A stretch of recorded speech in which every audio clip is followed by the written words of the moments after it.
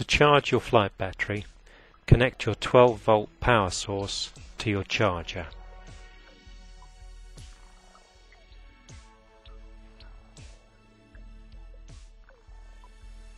Plug your battery's white connector into the side of your charger.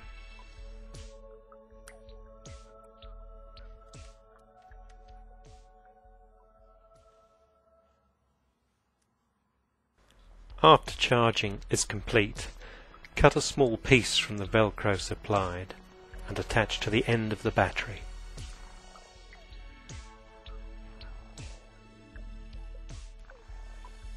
Slide the charged battery pack into the battery holder and press the battery home firmly, but do not connect the power lead yet.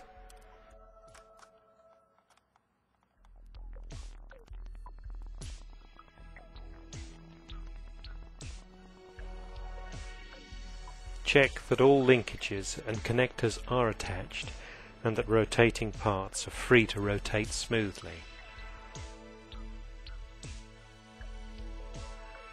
Free off any linkages that show any sign of tightness or binding.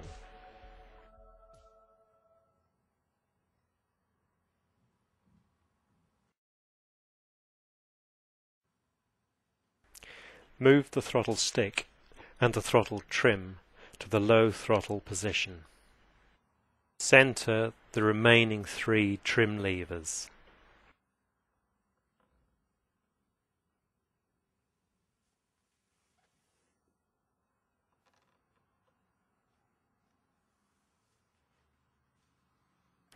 Extend the transmitter aerial fully.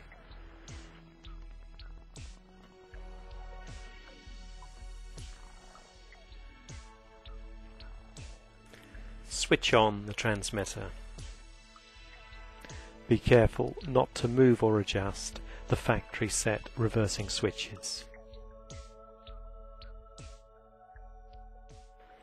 Plug the battery's connector into the matching battery lead.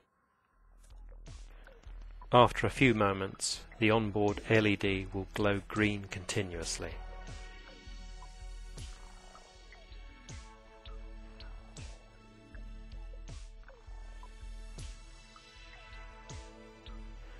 Check left and right cyclic response.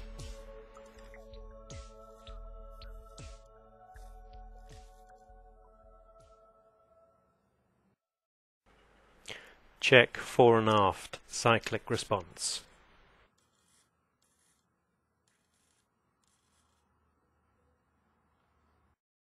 Very gently ease the throttle stick forward until the main rotors start to rotate then throttle back immediately.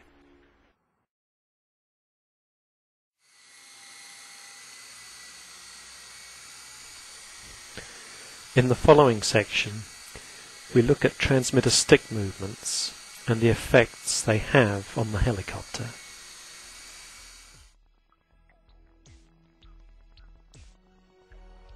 The right stick operates the cyclic steering controls. They move the helicopter forwards or backwards and crab the helicopter to the left or right.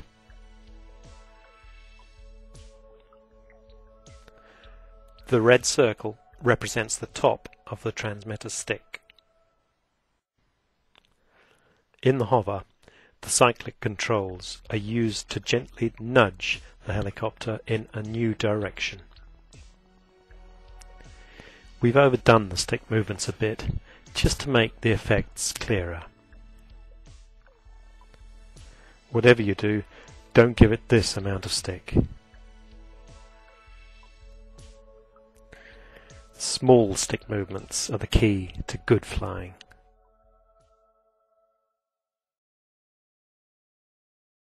The left stick operates the throttle and yaw controls. By pushing the throttle stick forward, rotor speed is increased and the helicopter climbs. Conversely, as throttle is reduced, the helicopter descends. If the stick is pushed left, the helicopter yaws or rotates nose left. Pushing right will rotate it nose right. If you have a throttle right mode 1 transmitter, yaw controls are arranged slightly differently. In this arrangement, throttle control is shared with roll cyclic control, which crabs the helicopter to left or to right. The left stick has to look after your control, rotate nose left or rotate nose right, and also forwards and backwards cyclic control to move the helicopter forwards or backwards.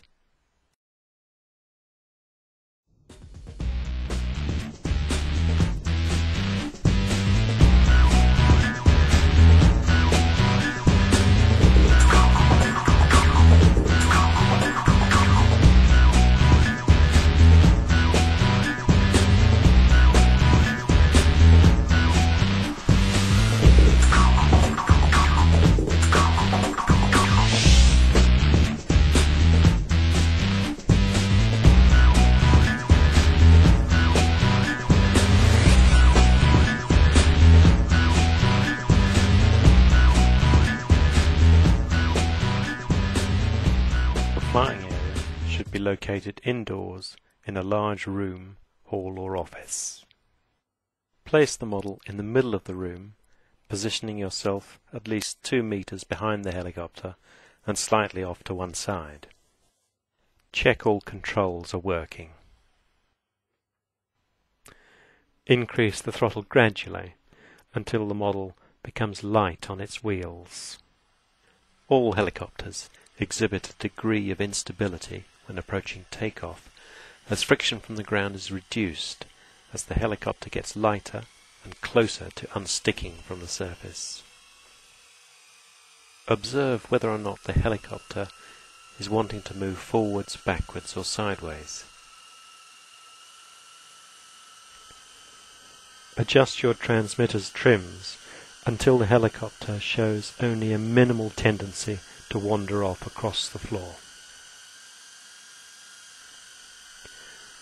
Apply enough power to make the helicopter light on its wheels and gently push the cyclic stick forwards.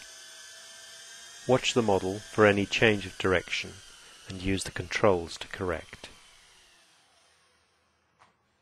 Drag the helicopter back if it gets too close to obstacles. Continue taking your helicopter for a walk until you develop the automatic ability to apply the right control input when required. After a bit of practice, you'll be ready for the first hops. Just apply a small amount of extra throttle briefly to raise the helicopter off the floor and into the air for a second. As you can see, most people's first sustained hover doesn't look that pretty. As your coordination and anticipation improves, you'll soon gain confidence with the hover, which becomes easier after a smooth positive lift-off to around chest height.